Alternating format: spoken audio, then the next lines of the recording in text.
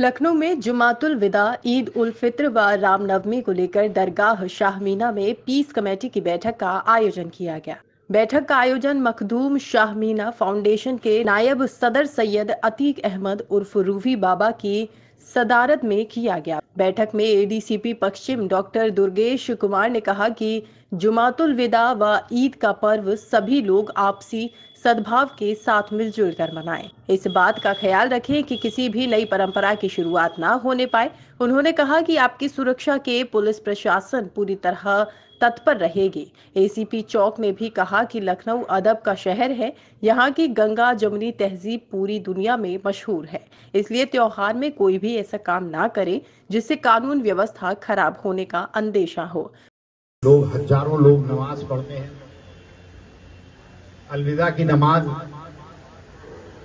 कई रोज़े रखने के बाद आती है। लोगों में बहुत एक्साइटमेंट रहता है। इसके बाद रमज़ान के तीस रोज़े के बाद ईद आती है। उसमें बहुत खुशी, उल्लास, बहुत सी चीज़ों का समावेश रहता है।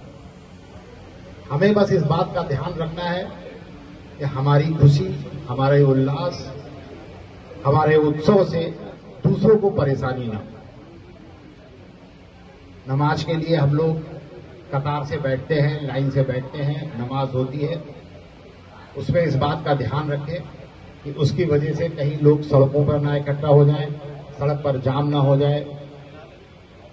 आपकी ये दरगाह, हमारी दरगाह यहाँ पर बिल्कुल के जी एवेन्यू के बगल में है।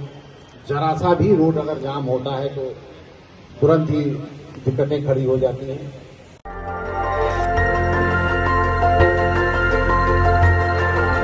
देखते रहिए डीबी भारती समाचार। नज़र हर खबर पर।